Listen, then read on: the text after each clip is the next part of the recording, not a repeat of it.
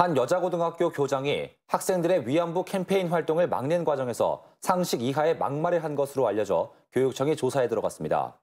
학생들은 교장이 위안부처럼 될래 라고 핀잔을 줬다고 증언하고 있습니다. 보도에 고우리 기자입니다.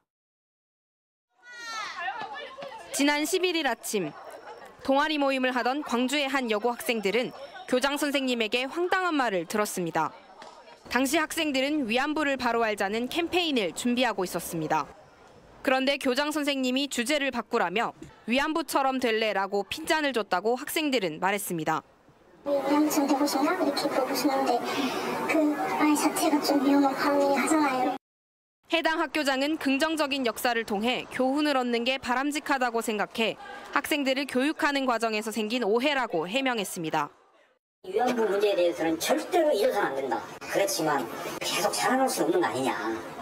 그러니까 이왕이면 우리 친구들에게도 그런 흥미를 심어줄 수 있는 미래지향적인 그런 주제를 삼자.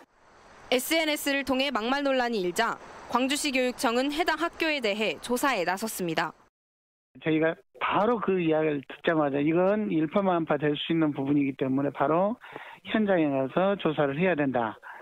교육감님 지시가 있어서 바로 현장에 광주시 교육청은 막말 논란이 사실로 확인되면 해당 학교장을 징계할 계획입니다.